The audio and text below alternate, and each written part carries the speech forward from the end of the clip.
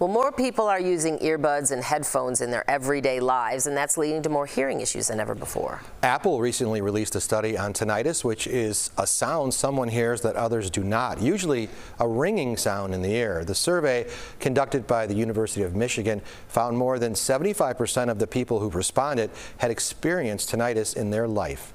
Joining us now live is Dr. Kristen Conners, an audiologist with Prescription Hearing in Palos Park. Thank you for joining us this morning. Thank you for having me. So, doctor, as an audiologist, are you seeing more cases of tinnitus and who is being impacted the most?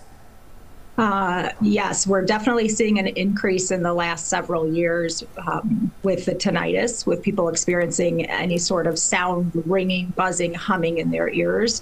And it affects all ages. We're seeing and identifying younger um, age groups now, um, teenagers and people in their 20s and 30s, um, all the way up into their 80s and 90s experiencing the tinnitus. You know, so can you kind of give us an idea of what some of the causes might be? You know, this is a generation that's wearing a lot of those uh, uh, headphones and uh, earbuds, and um, is that is that part of it?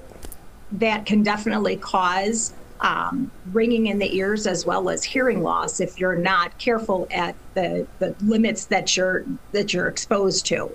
Meaning, if sounds are too loud, if the music is too loud, or if you're on phone calls wearing earbuds or headphones, and that conversation is too loud, it can cause uh, ringing in the ears. Yes. So we've been talking about this now for you know a couple weeks. Lollapalooza. It's here this weekend. Many people will be listening to music at a loud level for a long period of time. Some for four days straight. What's your advice? What should people do to protect their hearing? Do they need to, since it's an outdoor music festival? Uh, whether you're indoors or outdoors um, at, at, at, concerts or, or, festivals, the music can be extremely loud. Um, any sort of ear protection, whether it's the little foam plugs or whether it's over the ear headphones, um, obviously you're not going to wear headphones like that when you go to Lollapalooza, but some sort of ear protection will definitely help.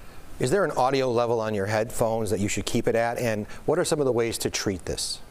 You know, um, there are uh, Apple who who did the study. Um, you know, they're they've got great. Uh, uh, you know, uh, protectors on their devices, whether you set the volume limit on the headphones, whether you set the volume limit on your phone, um, where you can keep it below at a, at a more comfortable level so that you don't risk getting uh, tinnitus with uh, noise exposure. And, and, and what can you do? What are the treatments? Um, your treatments are um, uh, wearing that ear protection, having a hearing test done too. We always see patients that recommend having hearing tests done to see if we can identify any other underlying causes of the tinnitus as well. But otherwise, there really is no cure, is, isn't there? Unfortunately, there really isn't. Mm. Um, we look at certain medical conditions that can cause tinnitus and try to manage those and see if the tinnitus is either reduced or eliminated.